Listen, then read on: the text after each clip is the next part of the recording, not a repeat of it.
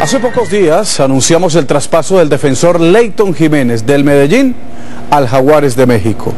Hoy la noticia es que sufrió una lesión y que no hay cupo para que juegue esta temporada en el equipo manito.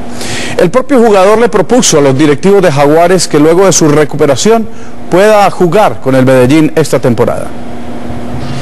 Después de solo dos semanas de haber viajado a integrarse al Jaguares de Chapa Mexicano, el zaguero central Leighton Jiménez podría reintegrarse al Independiente Medellín. El jugador chocuano padece una lesión muscular de la cual no ha podido recuperarse. El conjunto mexicano tiene copado el cupo de extranjeros gracias a la presencia del delantero John Córdoba, quien llegó procedente del Envigado Fútbol Club. Por ello, optaría por ceder a Leighton al equipo rojo. El jugador le confirmó ahora 13 noticias que estaría haciendo su arribo a la ciudad la próxima semana. Para volver al DIN tendría que concertar el pago de su salario, el cual podría hacerse de manera compartida.